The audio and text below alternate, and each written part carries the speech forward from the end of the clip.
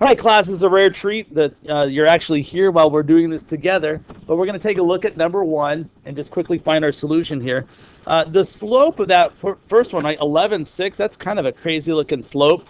You'll notice the graph paper is bigger than today, right? It's going 10 in each direction. Yesterday it was just going 5 in each direction.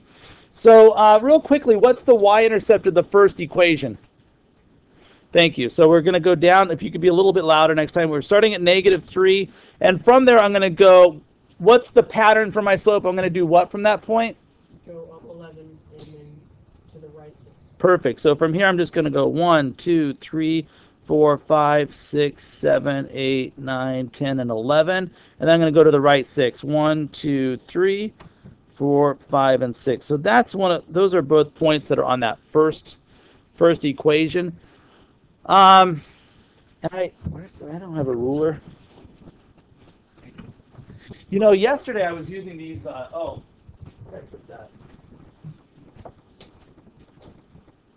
Yeah, this, this was great. This was like the sponge that I took the pencil off that desk. What's nice about this sponge is that it doesn't like slide around on the glass. So I just put the sponge down and now it's a ruler and I'm just going to try and please. That's terrible. Imagine it went right through the dots. Um, so, you know what? I don't have to imagine, right? Because they say if at first you don't succeed, give up. No, give up. Okay, there it is. It's better.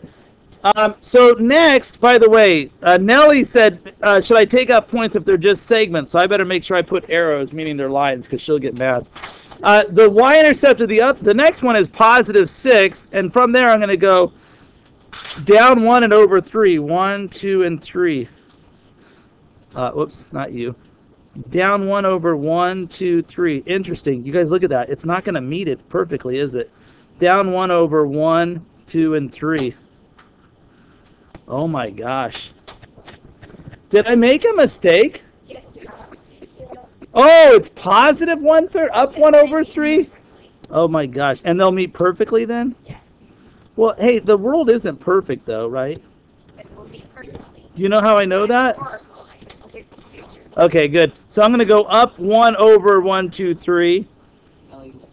And then up one over. Oh, right there. They are meeting. So let's graph that line.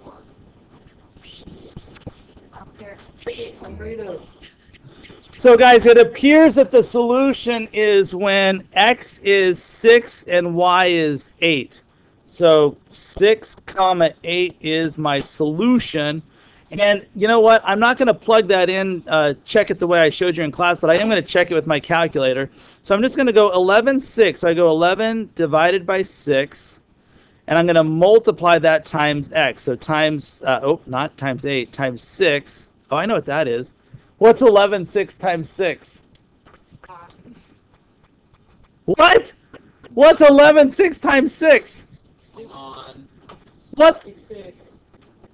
no. Oh, It's 11. sorry. 11. 11.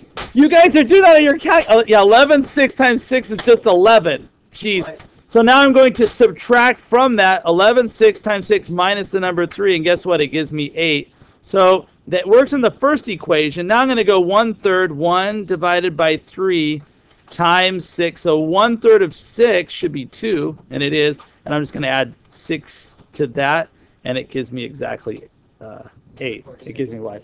Yeah, that's there too. All right, so then let's go ahead and do the one problem on the next page. So we'll flip and look at um, solve this system by substitution.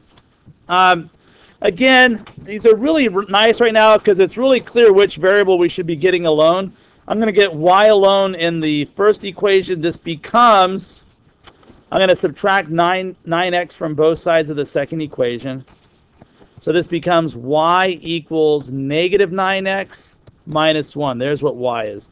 That is going to be the value I'm going to substitute into the first equation for y.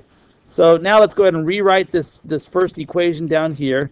The first equation is negative 2 times x minus 8 times y.